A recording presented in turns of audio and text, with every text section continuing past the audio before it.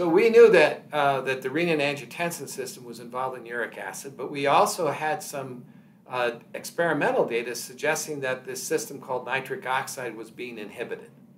And um, as you know, nitric oxide is a vasodilator.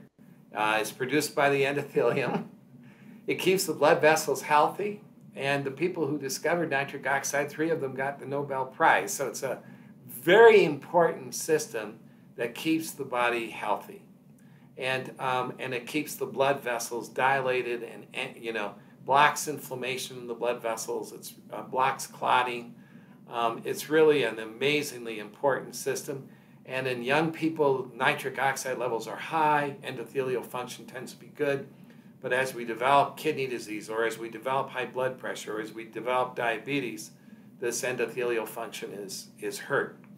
So uh, what we started looking at, and we we discovered that when the uric acid was high, endothelial function tended to be poor. And there was even a paper in the JAMA, I think it was in the JAMA, that looked at circadian rhythm, and they found that when uric acid goes up in early morning, nitric oxide levels fall, and, and you know, um, there seems to be a circadian rhythm to it as well. And, um, and when we put uric acid on cells, like endothelial cells, we could block nitric oxide What was fascinating, David, is it does it more multiple ways. It does it by working on on the transport of arginine.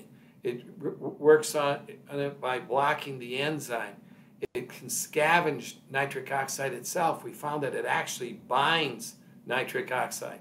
I mean, it really has multiple ways of reducing nitric oxide. And, and um, our group wasn't the only group that looked at this.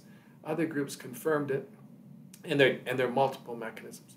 And if we can block, if we can increase nitric oxide, it turns out we could actually, um, we, when we increase nitric oxide, we could block some of the effects of, of uric acid, such, for example, uh, hypertension.